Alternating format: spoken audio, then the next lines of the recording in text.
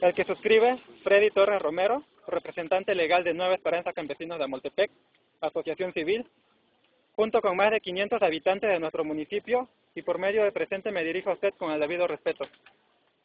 Con la finalidad de plantear nuestra inconformidad y, y exigir una solución definitiva y rápida a la problemática que vivimos en este municipio, donde el abandono, la exclusión y la miseria se ha vuelto una forma de vida. En los últimos años esto se ha agravado por la disputa del poder que protagonizan personas asesoradas por individuos que trabajan en el gobierno del Estado,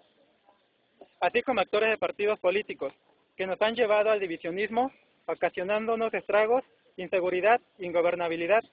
y sobre todo impunidad por parte de la Secretaría de Seguridad Pública,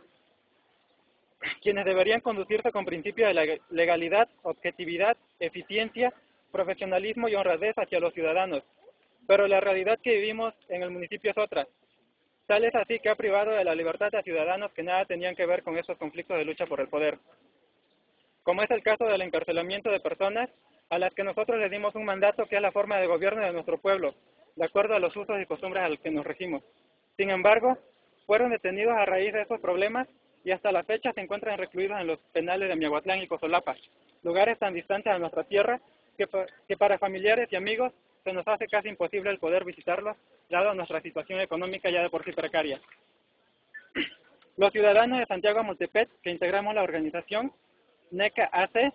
estamos dispuestos al diálogo y a través del trabajo conjunto buscar el desarrollo de nuestro pueblo y luchar por nuestras demandas más sentidas, independiente de estos grupos de poder que tanto daño causan a los pueblos de nuestro Estado. Es por eso que hoy nos dirigimos a usted para hacerle de su conocimiento que por recuerdo de nuestra Asamblea que es la gran mayoría de nuestro municipio, hemos acordado que si en un plazo prudente no se repara esta injusticia, nos trasladaremos de manera masiva a la capital y permaneceremos aquí de manera indefinida hasta que nuestros hermanos presos de manera injusta sean liberados. De la misma manera, le hacemos saber, señor secretario general de gobierno, que los acuerdos de paz que actualmente están realizando ese señor que se dice ser presidente municipal de nuestro pueblo, Pedro Luis Jiménez Fernández, penden de un hilo porque nuevamente estos personajes de los que ya hemos hecho mención anteriormente han empezado a entrometerse ahora en la vida de nuestros pueblos vecinos, buscando generar un enfrentamiento entre pueblos, esto aunado a la gran inconformidad de nuestro municipio, porque dichos acuerdos se dieron de manera unilateral por parte del presidente y representa un eminente peligro para la tranquilidad de nuestra región. Sin embargo,